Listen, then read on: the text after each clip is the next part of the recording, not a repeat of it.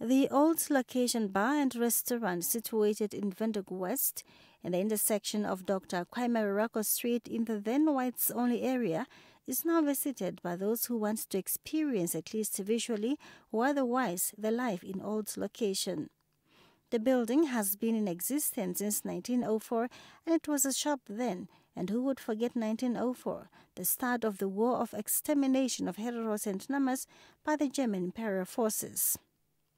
Not far from it is a cream building that was in the past used as a police holding cell.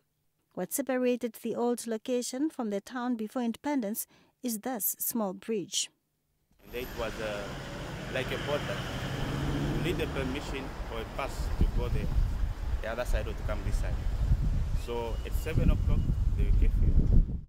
While under renovation and branded old location, the building created curiosity and people started coming in one by one, inquiring and shared their experience of life in the old location then. This is not just a bar but a historical place too, where pictures of heroes and heroines not only of the old location are on display for customers to see and learn history. Pictures on the wall tell the stories of the national liberation struggle against the apartheid regime and the transition to freedom and democracy. It was these memories, along with lessons that Amuthenu learned growing up in exile, which triggered the benefiting name of the building. And when introducing to join in a Rubango, we introduce what the important day that you need to, to remember.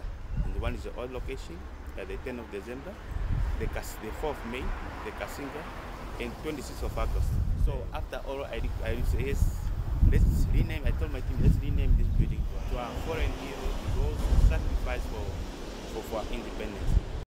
A showroom to have more pictures of the liberation struggle beyond the old location on display and make them public memories also in the pipeline.